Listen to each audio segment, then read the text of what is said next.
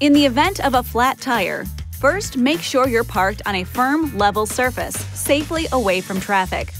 Avoid ice or slippery areas. Turn the hazard lights on, turn the ignition off, and set the parking brake. There should be no one in the vehicle. Block the front and rear of the wheel diagonally opposite the jacking position. For example, if the left rear tire is damaged, block the right front tire. If your vehicle is equipped with air suspension, automatic leveling should be disabled in the Uconnect system by selecting Tire Jack mode. You should also disable the hands-free liftgate before proceeding. Next, retrieve the tire changing tools. You'll find the scissor-type jack and tire changing tools in the rear cargo area under the load floor.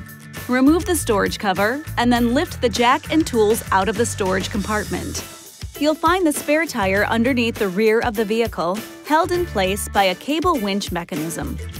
Remove the plastic plug covering the access hole. Attach the lug wrench to the jack handle extension and fit the extension over the drive nut. Turn the lug wrench counterclockwise on the nut until it stops, and the spare tire is on the ground with enough slack in the cable to allow you to pull the tire out from under the vehicle. Pull the metal bracket toward you until you can rotate the bracket and feed it through the hole in the wheel. Now go to the damaged tire and use the lug wrench to loosen, but do not remove the lug nuts. One turn counterclockwise with the wheels still on the ground.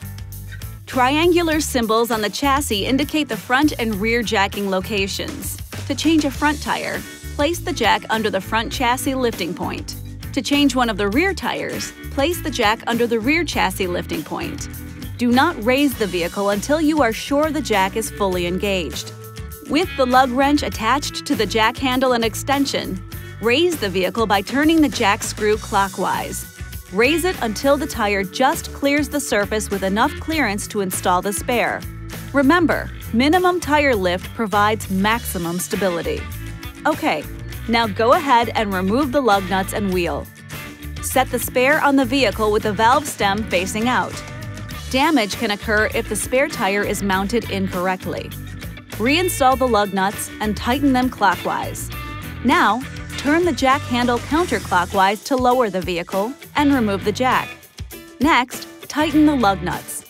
Tighten each one twice in alternating fashion. Apply maximum effort for this final tightening of the lug nuts. It's always a good idea to have the tightness checked with a torque wrench by an authorized dealer or at a service station. To secure the damaged tire, position the wheel behind the rear bumper facing inward.